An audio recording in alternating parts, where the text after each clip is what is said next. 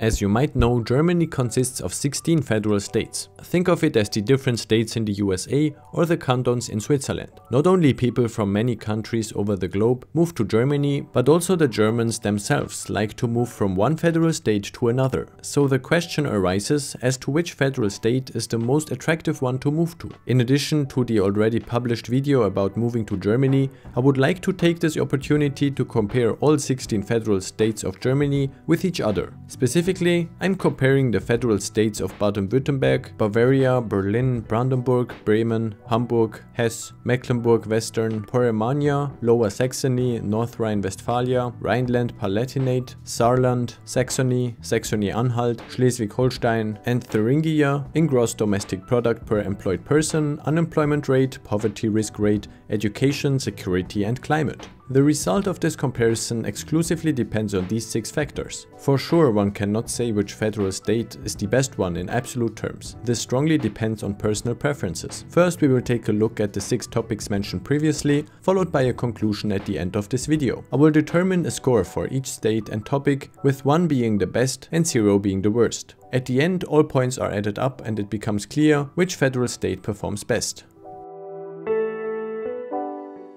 One of the most important factors is the economy. A strong economy allows you to generate a good income in a financially stable environment. Let us therefore take a look at the gross domestic product per employed person. It stands out that Hamburg has the largest gross domestic product per employed person. This is not surprising since the federal state of Hamburg is a very small federal state that only consists of the city of Hamburg. The worst performing state in this regard is Thuringia. Since Hamburg has the highest GDP per employed person with 95,286 euros, it receives one whole point and because Thuringia has the lowest with 61,047 euros, Thuringia receives 0 points. All other federal states each receive a value between 0 and 1, depending on how the GDP of the federal state is in relation to the GDP of Hamburg. Next comes unemployment rate. After all, you probably don't want to move to a federal state that has a high unemployment rate. Bavaria is the state with the lowest unemployment rate, amounting to 3.6%. The highest unemployment rate can be found in the state of Bremen. There it is at a whopping 11.1%. Compared to Switzerland, these values seem to be really high.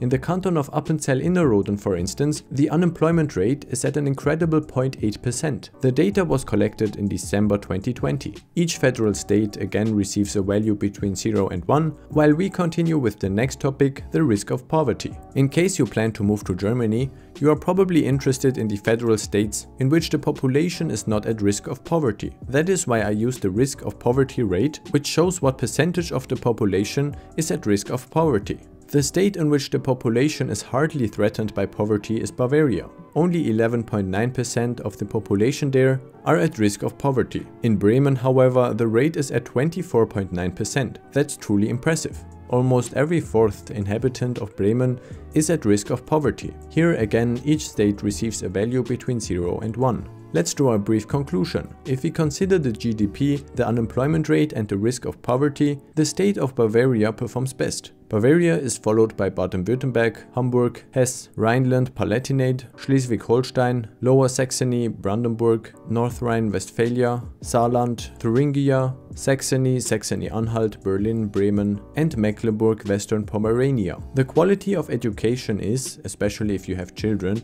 of central importance. So let's take a look at the German Education Index of 2020. 93 different indicators are included in this index. This ranges from the number of school dropouts per federal state to the number of newly appointed doctors. The federal state of Saxony performs best here, with a value of 66.9. The lowest performing state in this regard is the neighboring state of Saxony-Anhalt, with a value of 41.2. Again, each state gets a value between 0 and 1, and we move on to security. With increasing crime rates in Western European countries, security is an important factor to consider. The state of Berlin has the highest number of criminal offenses per 100,000 inhabitants, with 14,086 crimes per 100,000 inhabitants in 2019 it is the federal state with by far the highest number of crimes in relation to the population. Here again, it should be noted that the state of Berlin is a very small federal state that practically only consists of the city of Berlin. Since cities tend to have a lower level of security,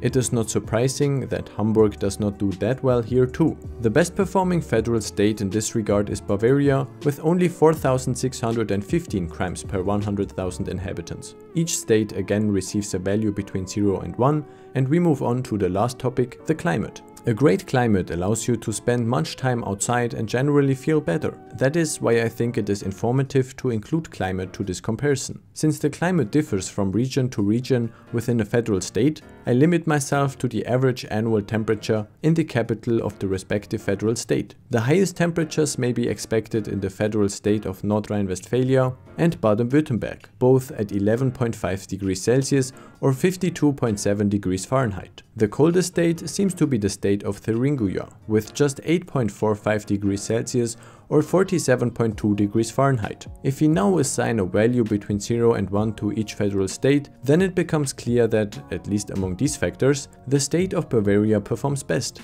Bavaria is followed by Baden-Württemberg, Saxony, Hesse, Lower Saxony, Rhineland-Palatinate, Hamburg, North Rhine-Westphalia, Schleswig-Holstein, Thuringia, Saarland, Brandenburg, Saxony-Anhalt, Mecklenburg-Western Pomerania, Bremen and Berlin. But let's draw a brief summary of each federal state, starting from the bottom. As the most insecure federal state, Berlin receives 0 points in this regard. The low level of education, the high unemployment rate and the low GDP are also downsides. Almost 20% of the population are at risk of poverty. Bremen has the highest unemployment rate and the highest risk of poverty, so it receives 0 points in these two topics. It also ranks very low in the education index and the low level of security is a drawback. Nevertheless, it scores very well in terms of GDP per employed person. Mecklenburg-Western Pomerania scores almost no points in the economy. Furthermore, climate and education leave a lot to be desired. However, the high level of security is an upside. Saxony-Anhalt got 0 points in education and the GDP is low. Moreover, the climate isn't warm either. However, Saxony-Anhalt is doing good when it comes to security. The next federal state is Brandenburg. Education as well as GDP are topics to improve. On the other hand, the unemployment rate is okay, security is not too bad and poverty is not too present either.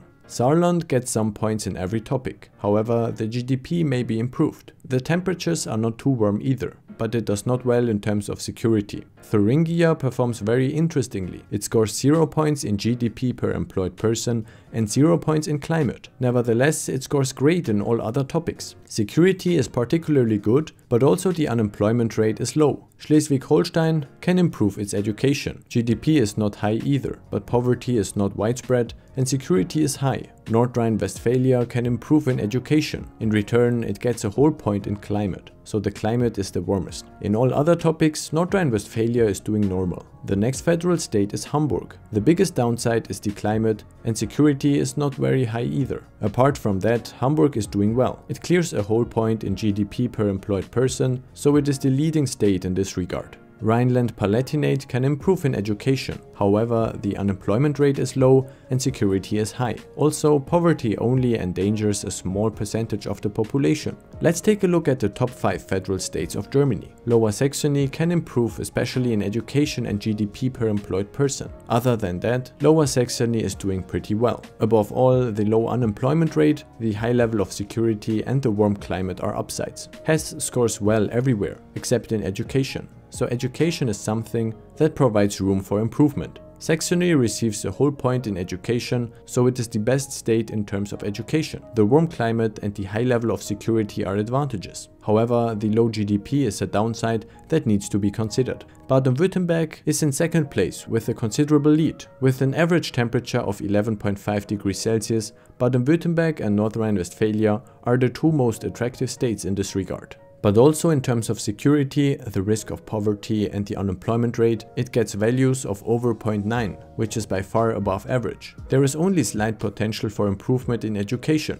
Bavaria is in first place. This state beats the average in every regard. Bavaria takes first place in 3 out of 6 topics. The unemployment rate is the lowest, the risk of poverty the lowest, and security the highest of all federal states. The climate is also warm and when it comes to education, Bavaria is above average as well. One point to improve would be the GDP per employed person. So you can see that Germany has very diverse federal states that differ greatly. All federal states have a different profile and only you can decide for yourself which characteristics you want to value most and which federal state suits you best. All sources are linked in the video description. I hope this video was informative. Don't forget to subscribe for free to not miss any new videos about the world's most interesting countries and cities. See you next Saturday and thank you for watching.